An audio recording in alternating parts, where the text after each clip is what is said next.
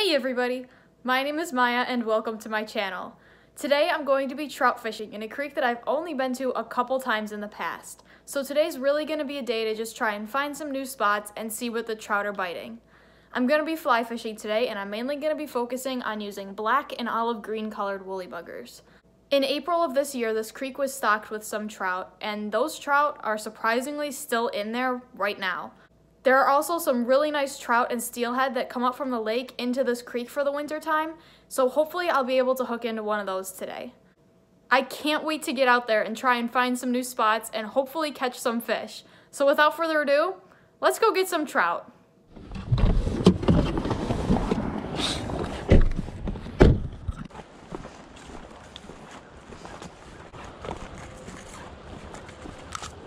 So when we came to the spot, there was a guy fishing here, and he was a really nice guy, and he just said, hey, take the spot. He's basically showing us exactly what to do.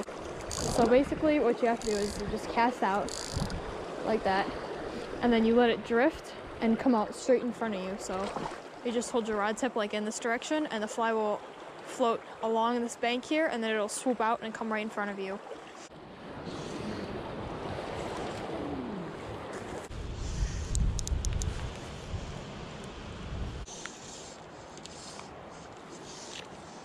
Oh my gosh. I got a fish. I got a fish.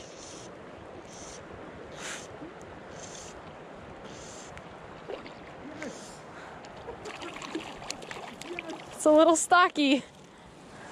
That is a really gorgeous fish too. Alrighty. Go on.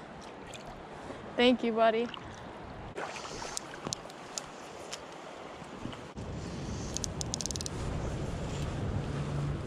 No way!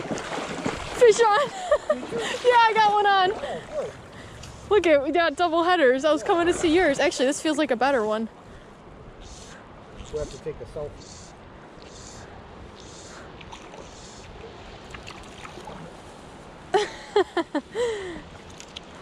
Whoa, take it easy there. Well, this one's got really pale colors. Look at.